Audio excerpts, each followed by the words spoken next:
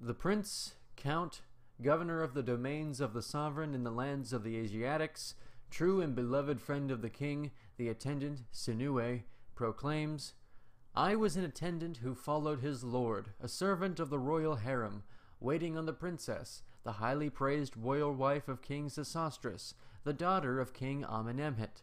In the thirtieth year of Amenemhet, in the seventh day of the third month of the inundation, the god ascended to his horizon. The king of Upper and Lower Egypt flew to heaven and united with Ra, the divine body merging with its maker. Then the palace was hushed, hearts grieved, the royal doors were shut, the courtiers were head on knee, the people mourned. His Majesty, however, had dispatched an army to the land of Libya, with his eldest son as its commander, the good god Sesostris. Now he was returning, bringing Libyan captives and cattle of all kinds beyond number. The officials of the palace sent to the western border to let the king's son know the event that had occurred at the court. The messengers met him on the road, reaching him at night. When he heard, not a moment did he delay. The falcon flew with his attendants, without letting his army know about it. His brothers, the royal sons who had been with him on this expedition, had also been sent for. One of them was summoned while I was standing close to him. I heard his voice as he spoke my name while I was in the near distance. And then my heart fluttered, my arms spread out, a trembling befell all my limbs, and I removed myself in leaps to seek a hiding place. And so I set out. I did not plan to go to the palace, for I believed there would be turmoil and did not expect to survive it. I crossed by boat and reached the Isle of Snefru. I spent the day there, departing at dawn, and I encountered a man who stood on the road. He saluted me, but I ran, for I was afraid of him. At dusk I reached Cattle Quarry, as it is called, and I crossed in a barge without a rudder by the force of the west wind. I passed to the east of the quarry, then made my way northward towards Sinai. I reached the walls of the Pharaoh, which had been built to repel the Asiatics and to crush the Sand People. I crouched in a bush until night, for fear of being seen by the guards on duty upon the wall. At dawn I reached Peten. I halted at the Isle of Kemwer when an attack of thirst overtook me. I was parched, my throat burned, and I said to myself, This is surely the taste of death. I raised my heart and collected myself when I heard the lowing voice of cattle and saw Asiatics. One of their leaders, Amenenshi, ruler of Upper Canaan, who had once visited Egypt, recognized me. He gave me water and boiled milk for me. I went with him to his tribe, and he gave land to me, saying, Allow me to make you my courtier, so that I may hear the language of Egypt. He said this because he knew my character, and had heard of my skill with words, and other Egyptians who were with him having bore witness for me. He said to me, Why have you come here? Has something happened in Memphis? And I spoke to him in half truths, saying, The king has departed to the horizon, and one did not know the circumstances. When I returned from an expedition to the land of the Libyans, the king's departure was reported to me, and my heart grew faint. It carried me away on the path of flight. I do not know what brought me to this country. It is as if planned by a god. Then he said to me, How then is the land that is without that excellent god, whom all enemies feared like plague? I said to him in reply, Of course his son has entered into the palace, having taken up his father's heritage. He is a god without peer, a lord of knowledge, a wise planner, and a skilled leader. He was the smiter of foreign lands, while his father stayed in the palace. He is a champion who acts with his arm, a fighter who has no equal, and now that he is king, he will conquer the lands of the Nubians as well. Then Amenenshi said to me, Well then, Egypt is happy knowing that he is strong. But you have come here. If it is your wish, you shall stay with me. In time he married me to his eldest daughter. He gave me some of his best land. It was a good land called Yah. Figs were in it, and grapes. It had more wine than water. Abundant was its honey, plentiful were its oils. All kinds of fruit were on its trees. Barley was there, and emmer, and no end of cattle of all kinds. Much also came to me because of Amenenshi's love for me. For he had made me chief of a tribe in the best part of his land. Loaves of bread were made for me daily, and wine as daily fare, cooked meat, roast fowl, as well as desert game, for they hunted for me and laid it before me, in addition to the catch of my own hounds. Many sweets were made for me, and milk dishes of all kinds.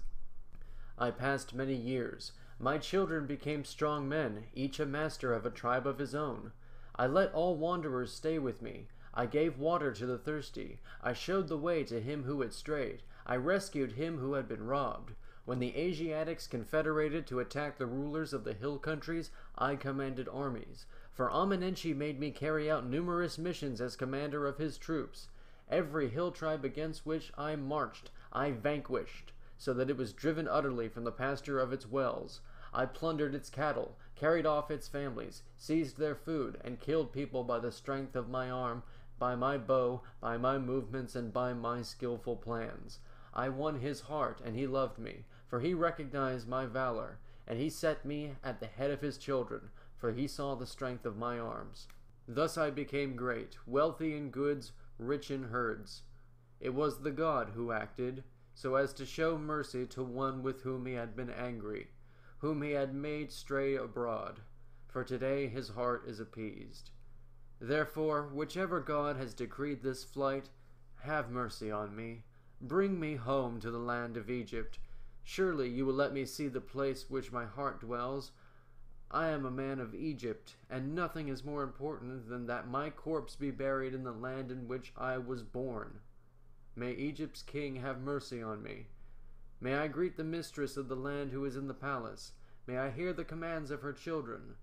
Would that my body were young again, for old age has come, and feebleness has overtaken me.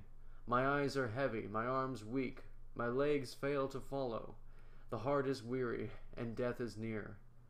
May I be conducted to the city of the dead, and may I serve truth, who is the mistress of all, and may she speak well of me to her children. Thus speaks Sinuhe. Horus, living in births, the king of Upper and Lower Egypt, Keper the son of Re, Sesostris, who lives forever, royal decree to the attendant Sinuhe. This decree of Pharaoh has been brought to you to remind you that you fled Egypt and entered foreign countries by the counsel of your own heart. What had you done that one should act against you? You had not cursed, so that your speech should be reproached. You had not spoken against the counsel of the nobles, so that your words should have been rejected. This matter, it carried away your heart. It was not my heart to act against you. My wife in the palace lives and prospers to this day. Her children are in the palace. You will store riches which they give you. You will live off their bounty. Come back to Egypt. Be as you were. See the residence in which you lived, kiss the ground at the royal gates, mingle with the courtiers. For today you have begun to age, you have lost a man's strength. Think of the day of burial, the passing into reveredness. You of all people deserve the peace of mind to do so. We have made for you ointments and wrappings by the hand of Tite. A funeral procession is prepared for you on the day of burial.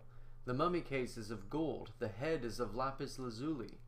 The sky will be above you as you lie in the hearse, oxen drawing you, musicians going before you. The dance will be performed at the door of your tomb. The offering list will be read to you. The sacrifice will be made before your offering stone. Your tomb pillars, made of white stone, are among those of the royal children. You shall not die abroad, nor shall the Asiatics inter you. You will not be wrapped in the skin of a ram to serve as your coffin. And so I returned to the land of Egypt. I was given a house and garden that had once belonged to a great courtier. Many craftsmen rebuilt it, and all its woodwork was made anew. Meals were brought to me from the palace three times, sometimes four times a day, apart from what the royal children gave without a moment's notice.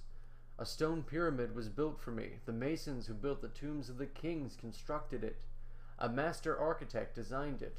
A master sculptor carved upon it. Mortuary priests were given me, and a funerary domain was made for me. It had fields, and is done for a champion of the first rank. My statue was overlaid with gold, its skirt with electrum. It was his majesty who ordered it made. There is no commoner for whom the like has been done. Such was I, Sinuhe, in the favor of kings until the day I departed to the west.